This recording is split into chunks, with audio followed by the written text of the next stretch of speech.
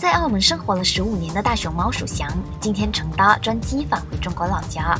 有市民在鼠祥从澳门金象农场出发到国际机场途中，在路环不舍地为它送别。鼠祥是中国政府在二零一零年送给澳门的，澳门之后将它和另一只熊猫取名为开开和星星。由于星星去年不幸去世，中国计划另送两只熊猫给澳门。鼠祥将会回老家参与繁育计划，准备开枝散叶。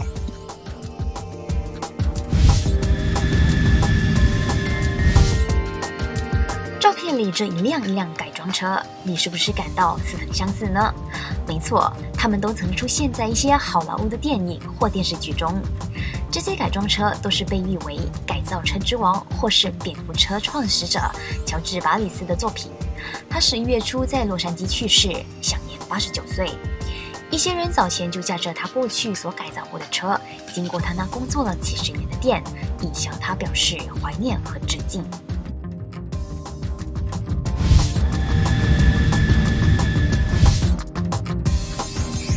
月二十八号，一般墨西哥人更是骑法将自己打扮成英国披头士乐队的成员，在墨西哥城查普尔特贝克公园内四处走动，创下了吉尼斯世界纪录。